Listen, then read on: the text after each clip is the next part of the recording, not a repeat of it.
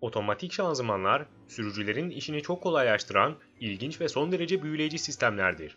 Şimdi bu ilginç mekanizmayı kolayca anlayabilmek için en basit şekilde incelemeye başlayalım. İnceleyeceğimiz bu otomatik vites sisteminin en önemli bölümü gezegensel dişli sistemidir. Bu nedenle ilk olarak bu gezegensel dişli sisteminin neler yapabileceğini en temel parçalarından başlayarak inceleyelim. Bu sistemin yeteneklerini keşfedelim. Merkezde bir güneş dişlisi ve güneşin etrafında gezegen dişliler bulunur. Halka dişli ise bunların hepsini çevreler. Bu parça ise taşıyıcı olarak adlandırılır. Gezegensel dişli sisteminde iki giriş ve bir çıkış vardır. Çıkış taşıyıcı tarafından sağlanır. Güneş dişlisi birinci giriş, halka dişlisi ise ikinci giriştir. Motordan gelen güç bu girişlere etki eder. Daha sonra dişliler sayesinde dönüşümler gerçekleşir ve çıkış olan taşıyıcıdan gerekli hız elde edilir. Şimdi girişlere farklı hızlar uygulayalım ve çıkışta neler olduğunu gözlemleyelim. İlk olarak halka dişlisi sabit kalsın ve güneş dişlisi dönsün. Bu durumda taşıyıcının yavaş bir şekilde döndüğünü görüyoruz. Eğer halka dişlisini de döndürürsek çıkış hızı artar. Çünkü halka dişlisinin hareketi gezegen dişlisinin güneş etrafında dönmesine yardımcı olur. Şu anki durumda halka dişlisinin hızı güneş dişlisinin hızından daha az. İki giriş yani halka dişlisi ve güneş dişlisi aynı hızda döndürülürse tüm mekanizma tek bir birim olarak hareket eder. Gezegen dişlisinin dişleri iki taraftan da aynı hızda ittirilir. Bu durumda gezegen dişlilerin kendi etrafında dönmeyeceği çok bellidir. Halka dişlisinin hızı güneş dişlisinin hızından daha fazla olduğunda çıkış hızı daha da artar.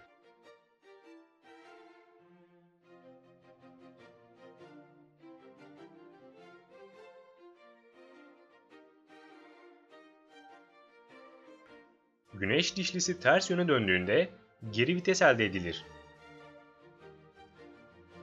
Sistemin yeteneklerini inceledik. Kısaca otomatik vitesin çalışması, halka dişlisinin ve güneş dişlisinin farklı hızlarda dönmesiyle ilgilidir. Şimdi şanzımanda bu işlemlerin nasıl gerçekleştiğini inceleyelim. Bu otomatik sistemde giriş ve çıkış şaftları doğrudan bağlantılı değildir. İkisinin arasında bir ara şaft vardır.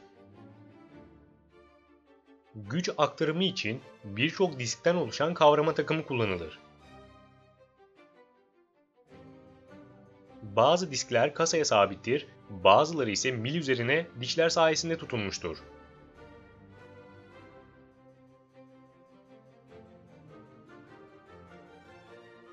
Baskı olduğunda kasaya sabit olan diskler ve mil ile birlikte dönen diskler birbirine bastırır. Disklerin birbirine bastırılması kilitlenme sağlar ve güç akışı sağlanır. Benzer kavrama takımlarından gezegensel dişli sistemleri için de kullanacağız.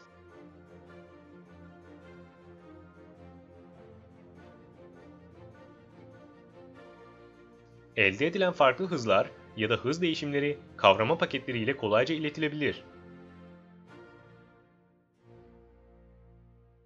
Şimdi birinci vitesin nasıl çalıştığını inceleyelim. Birinci kavrama takımı etkinleştiğinde giriş mili orta mili döndürecektir.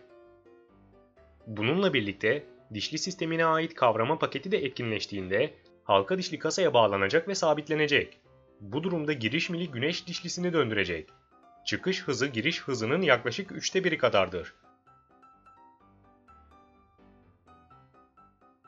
Güneş dişlisi bir tam turunu tamamladığında gezegen dişlisinin aldığı yol işte bu kadardır. Güneş dişlisi yaklaşık 3 tur attığında gezegen dişlisi başladığı konuma gelir. İki kavrama paketiyle birinci vitesi elde ettik. Şimdi ikinci vitesi elde etmek için bir dişli sistemi daha ekleyelim. Birinci kavrama takımı etkinleştiğinde güneş dişliler giriş ile her zaman aynı hızda döner.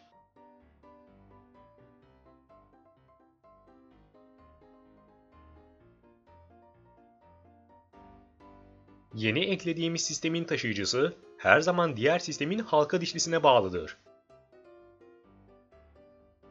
Yani yeni eklediğimiz sistemin çıkışı her zaman diğer sistemin ikinci girişine bağlıdır. Doğal olarak ikinci giriş sağlamak için ek motorlar takılamaz. İkinci giriş diğer sistemlerin çıkışı ile kontrol edilir. Birinci kavrama takımı ile birlikte dördüncü kavrama takımı da etkinleştiğinde sistemin halka dişlisi sabitlenecek. Bu durumda ikinci dişli sistemi birinci vites durumu gibi dönecek ve birinci sistemin ikinci girişini döndürecek. Ve halka dişli, gezegen dişlilerin dönüşüne bu şekilde katkı sağlayacak.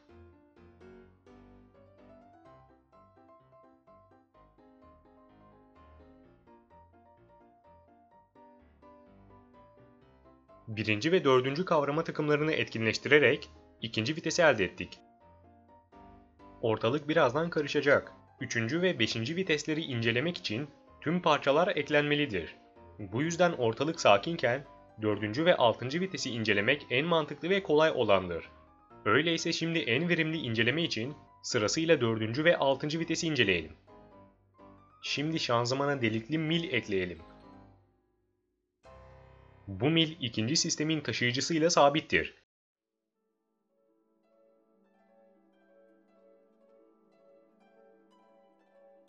Eklediğimiz bu parça ise giriş şaftına sabitlenmiştir ve giriş şaftı ile her zaman döner.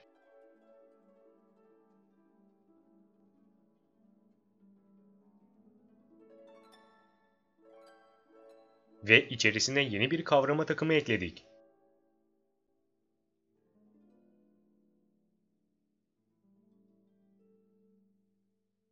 İsmi K2 olsun. Birinci ve ikinci kavrama takımı etkinleştiğinde güneş ve halka dişlileri doğrudan giriş miline bağlanır.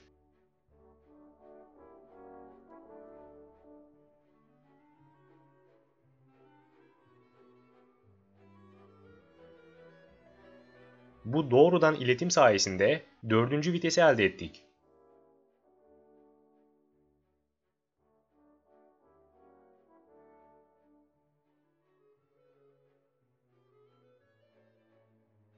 Şimdi 6. vitesi elde etmek için gerekli kavrama paketlerini devreye sokalım.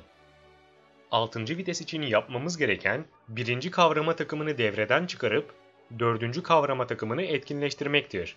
Bu durumda 2. ve 4. kavrama takımı etkindir. 1. kavrama takımı etkin olmadığından güneş dişlileri etkin değildir. Giriş hızı taşıyıcıya bağlıdır.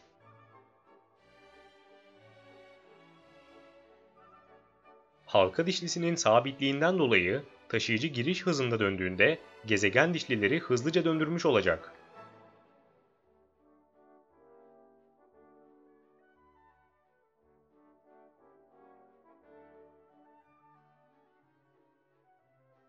Taşıyıcı giriş hızında döndüğünde gezegen dişlileri hızlıca döndürmüş olacak. Bununla birlikte serbest olan güneş dişlisi de hızla dönecek. Aynı zamanda ikinci sistemin taşıyıcısı, birinci sistemin halka dişlisine sabit olduğu için hız çok artacak. Kısaca taşıyıcıya giriş hızı doğrudan bağlı olduğu için ve taşıyıcı halka dişliye sabit olduğu için halka dişlisini çok hızlandırdık.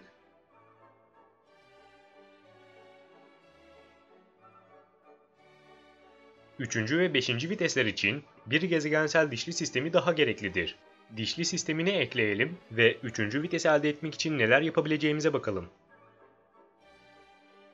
Yeni dişli sisteminin güneş dişlisi, giriş şaftına sabit olan bu kavrama düzeni aracılığıyla her zaman girişe bağlıdır ve her zaman döner.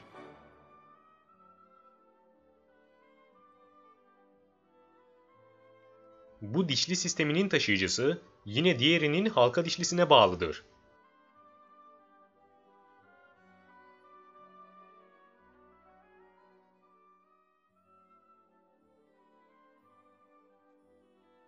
Üçüncü vites için birinci ve üçüncü kavrama takımı etkinleştirilir. Birinci kavrama takımı etkin olduğu için güneş dişliler giriş hızında dönüyor. Üçüncü dişli sisteminin çıkışı sayesinde ikinci sistemin halka dişlisi dönüyor. Burada hız bir miktar artıyor. Doğal olarak gezegen dişliler de daha hızlı dönüyor. Bu daha hızlı dönen gezegen dişliler ise birinci dişli sisteminin halka dişlisini normalde olduğundan daha hızlı döndürüyor.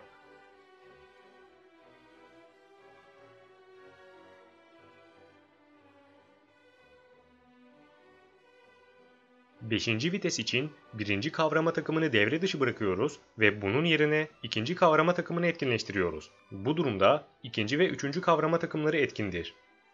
Birinci kavrama takımı etkin olmadığı için güneş dişlileri serbesttir. Yüksek hız dişlilerini etkinleştireceğimiz zaman yüksek hız için güneş dişlilerin serbest bırakıldığını fark etmişsinizdir. Bu durumda giriş şaftından gelen güç, ikinci kavrama takımının etkin olmasından dolayı hem üçüncü dişli sisteminin güneş dişlisini döndürüyor hem de ikinci dişli sisteminin taşıyıcısını döndürüyor.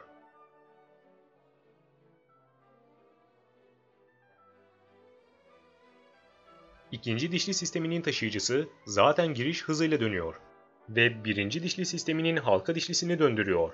Ancak bununla birlikte üçüncü dişli sisteminin taşıyıcısı ikinci dişli sisteminin halka dişlisini de döndürüyor. İşte bu ekstra katkı sağlıyor.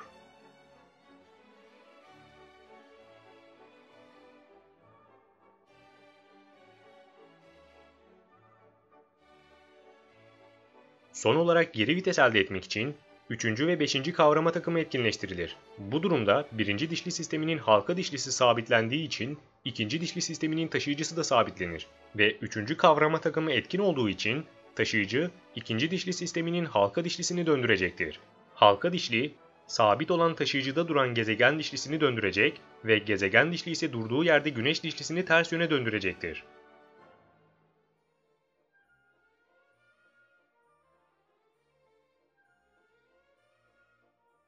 Bu ilginç ve büyüleyici makine sayesinde uygun dişli oranları ile gerekli dönüşümler sağlanıyor. Tüm bu kavrama paketlerinin kontrolü otomatik olarak yapılır. Şanzıman kontrol ünitesi hangi kavramanın etkinleşeceğine karar verir. Manuel şanzımanlarda iletimi kesmek için debriyaj kullanılır. Otomatik şanzımanlarda ise tork dönüştürücü kullanılır. Bu kesinti hidrolik kavrama yardımıyla gerçekleşir. Bu sistemin çalışması retarder sistemine çok benzerdir. Ayrıca bu şanzımanın çıkış kısmına retarder de eklenebilir.